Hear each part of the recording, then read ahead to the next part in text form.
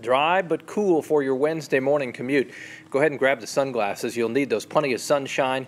Temperatures will be in the mid 60s for your afternoon high Wednesday. Little warmer Thursday. Friday 74. Thunderstorms late in the day Friday. Saturday. By Saturday night, thunderstorm chances increase.